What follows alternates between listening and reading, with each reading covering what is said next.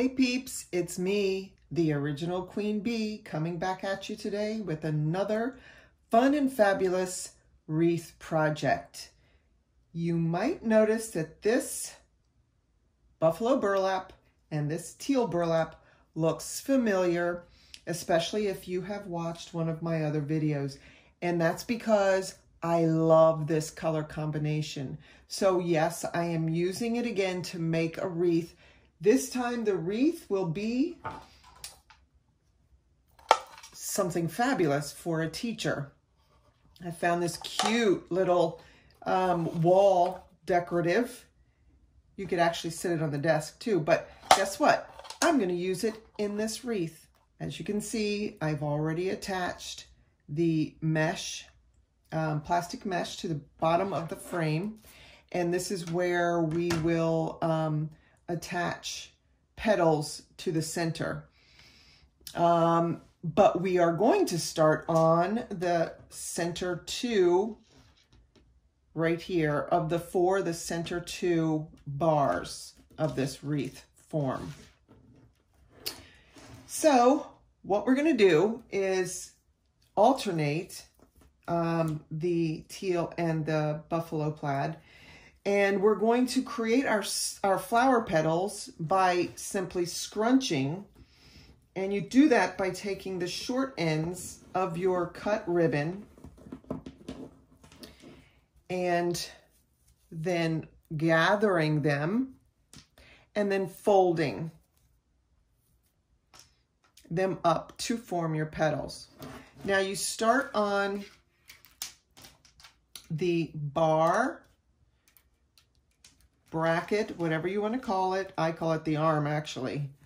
And you secure your burlap down using the zip ties. Everybody has their own preference how they do things. Um, I actually love the zip ties. They're just, for me, the best way to um, securely get these pieces down and knowing that they are not going anywhere. I mean, you could use um, wire, you could use um, pipe cleaners, but I just like these. I just like it better. It's just more sturdy. And then you clip off your excess. Okay. Some people work just around like this. I like to go in increments, so I'm gonna go to the other bracket, place my zip tie right here. Sometimes I call these wire ties. I don't know why. Gather up another piece of the buffalo plaid. Make my little petal and come down and secure it.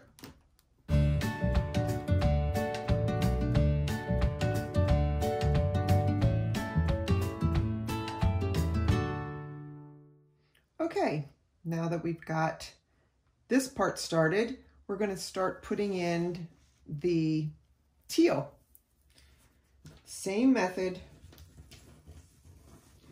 scrunching the shorter ends, folding in, coming over with your wire ties. You see, I just called it a wire tie, zip tie, whatever you want to call it. And putting those in between.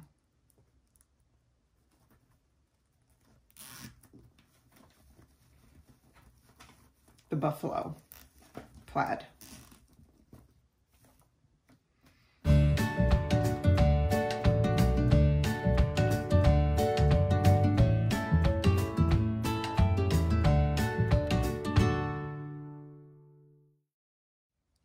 So I have finished the ring on the outside, alternating the teal with the buffalo plaid.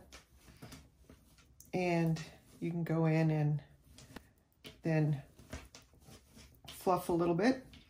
But no need to really worry about that right now because as you can see, I'm starting on the inside.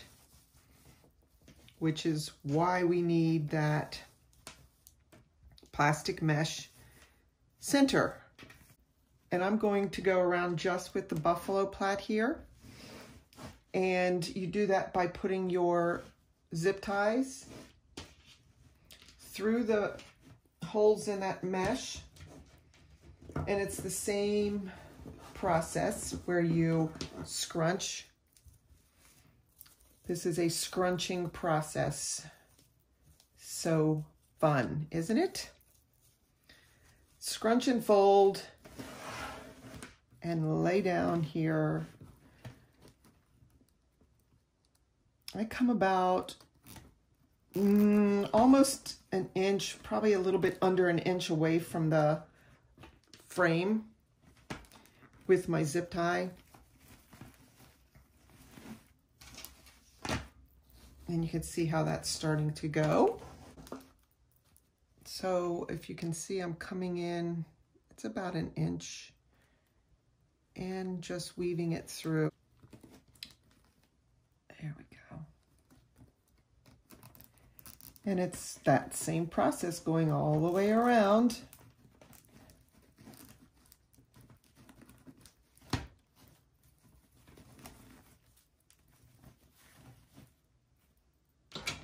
And cutting off the excess. Alrighty, so I have now this ring completed.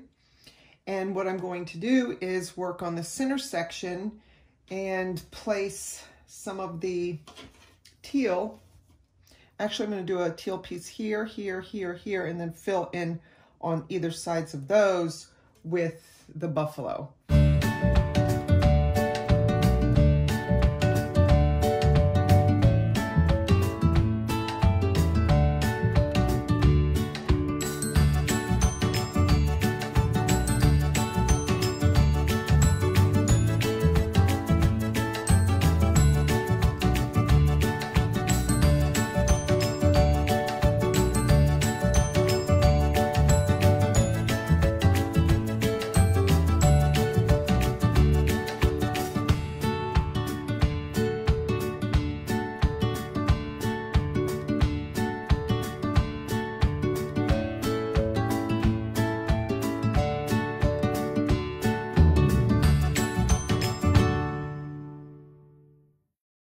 Okay, now that we've finished the outer, the inner, the other inner, I have to do the exact center.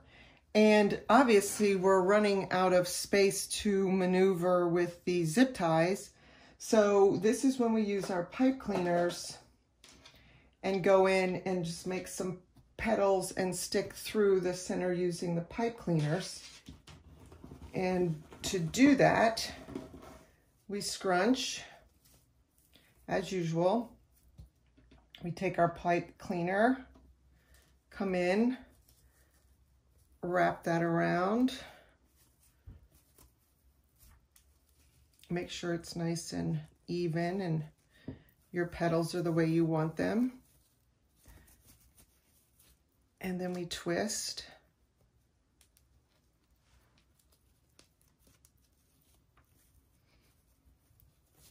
Like so. And then we just go down in from the top through with our pipe cleaners and we pull, if you can see that. Come to the other side and give it some good twisting.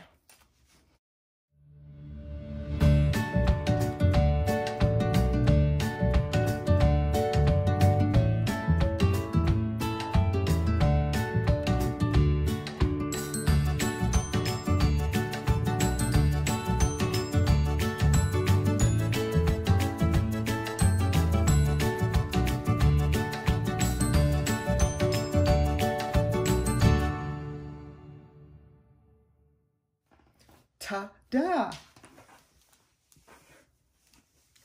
Isn't that great? Now we're going to put this on. And I think it's just going to be precious. It has this handy dandy um, hook on the back, which we're going to use our pipe cleaners to go through. That's the first thing. And that's easy to get that down there through that. Now, I'm not going to want this to move around on here. And it probably wouldn't once I twist tied it. But I'm going to give it a little shot of hot glue on that area where the um, pipe cleaner meets the hook. And I'm going to, yes, this is my squeaky glue gun. And I'm just going to take and twist that on there just as a little extra added security.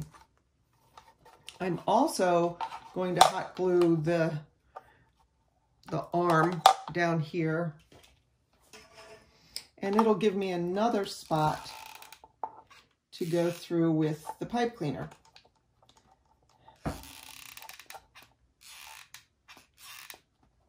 Oh my, that is so annoying. Ugh. Oh, that's already catching. Okay. Give that a good press.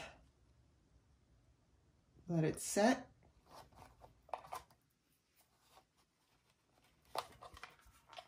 See? That's not going anywhere. And then I can come through here as well with my pipe cleaner. So we're going to go right down into the center, sort of map out where you want it to go. And I will go with the bottom ends first.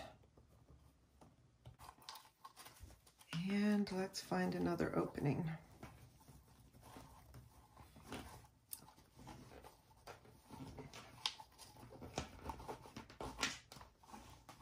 Make sure that you're still where you want to be on the wreath.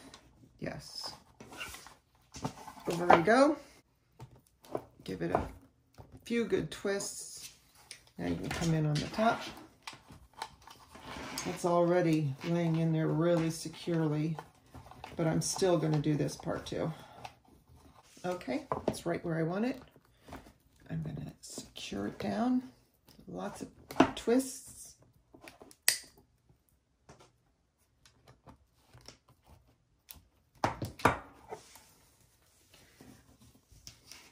What do you think? Now you can add picks to this. I might get a little creative and put a couple additional um, pieces in here. I don't know if it's going to be, you know, some picks or what, but this is the basis, the foundation for this wreath. And even just like this, it's fabulous. And here's the finished wreath. You can see I added some decoratives in there I put a couple flower petal leaf um, with the burlap glued down to the corners, two corners of the frame, and I cut pieces of burlap and glued it to the frame. Yes, my friends, another look at this wreath. I thought I was finished, and as I've said before, sometimes we get inspired, and the project that we're working on is sometimes a work in progress for a little bit longer than we would have thought. So I simply got my acrylics, paintbrush, and I painted the leaves in.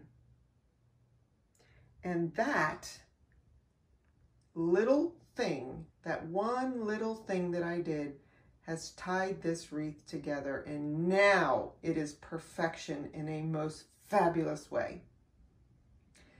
So again, I hope you have enjoyed this video. I hope you're getting crafty.